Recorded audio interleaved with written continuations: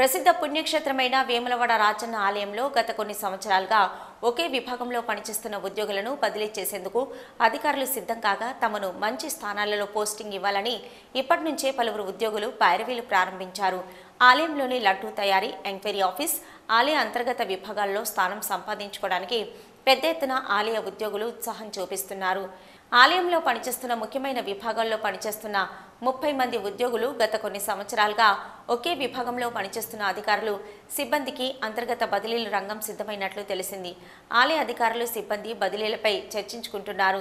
తమ స్థానాలను పదిలం చేసుకునేందుకు మంత్రి కేటీఆర్ వద్దకు వెళ్ళిన ఆలయ ఉద్యోగులు ఎవరికి వారే ముమ్మరం ప్రయత్నం చేస్తున్నారు. ఆలయంలో భక్తులకు సేవ చేసేందుకు ఉత్సాహం చూపని ఉద్యోగులు ఆదాయం వచ్చే స్థానాలలో తమను బదిలీ చేయాలని పై అధికారులకు మొరపెట్టుకుంటూ పైరవీలు చేస్తున్నారు